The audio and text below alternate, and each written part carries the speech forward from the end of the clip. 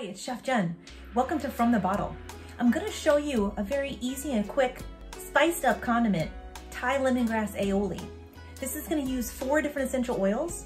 You've got ginger, cilantro, lime, and lemongrass. And what I love about this is you can replace all of the regular ingredients with the essential oils in this condiment. So you don't have to go looking around for ingredients, worrying about if you have them in your fridge or in your cabinet. You've got them all right here in your little bottle. Ready? Let's go.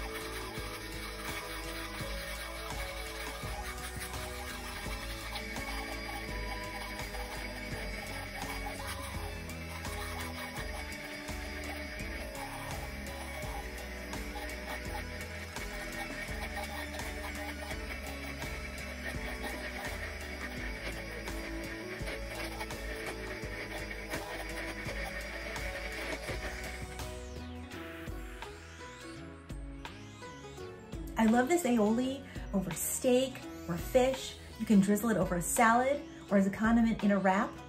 Also as a dip for fried calamari or shrimp. Let me know other ways that you find to try it. And you get all that wonderful exotic flavor right here from the bottle.